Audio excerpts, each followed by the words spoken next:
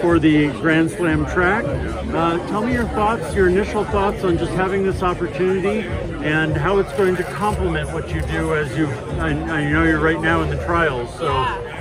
Tell me, tell me about that and just kind of what yeah. this means. It's an amazing opportunity. I'm very grateful to, to be a part of it and be the first athlete. Um, I feel like it's going to be a huge step forward for track and field, just being able to grow the visibility as well as the compensation for athletes, as well as giving fans what they want. So uh, just looking forward to all of these opportunities and yeah, just focusing right now on the trials, but I know that in the years to come it's going to be a huge step forward for track and field. And as women's sports just continues to explode, yeah. Um, what does it mean to you to have on equal footing, like 48 women, 48 men, uh, the opportunity, the prize money, everything else, uh, right out of the gate? What does that mean to you? I think that the women in track and field are continuing to put on stellar performances as well as other sports. And so I'm just honored to be a part of that. I know we will continue to do that, and this is an opportunity to, to make us, you know, have those platforms and, and help them grow.